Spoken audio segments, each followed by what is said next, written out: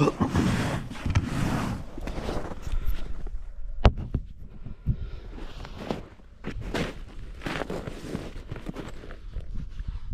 up had a hot dog on it.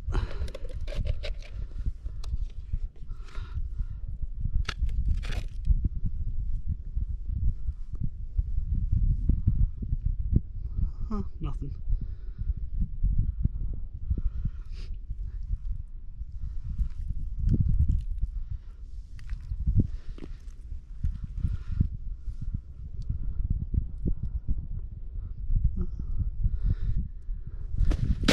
Tooth marks on it.